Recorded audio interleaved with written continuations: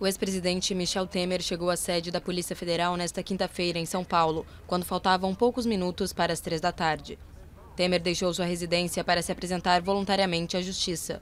Acompanhado pelo advogado Eduardo Carnelós, ele aguarda a definição do local onde ficará preso. Mais cedo, a juíza Caroline Vieira Figueiredo, da Sétima Vara Criminal do Rio de Janeiro, tinha dado prazo até às 17 horas para que o ex-presidente se apresentasse. A decisão também vale para João Batista Lima Filho, conhecido como Coronel Lima. Temer e o Lima foram alvos da Operação Descontaminação, um dos desdobramentos da Lava Jato no Rio de Janeiro, que investiga desvios da ordem de 1 bilhão e 800 milhões de dólares nas obras da usina nuclear de Angra 3. No dia 21 de março, o juiz Marcelo Bretas, da 7 Vara Federal Criminal, acatou o pedido do Ministério Público Federal e decretou as prisões preventivas de ambos. Na ocasião, eles foram levados ao Rio de Janeiro, onde ficaram detidos por quatro dias.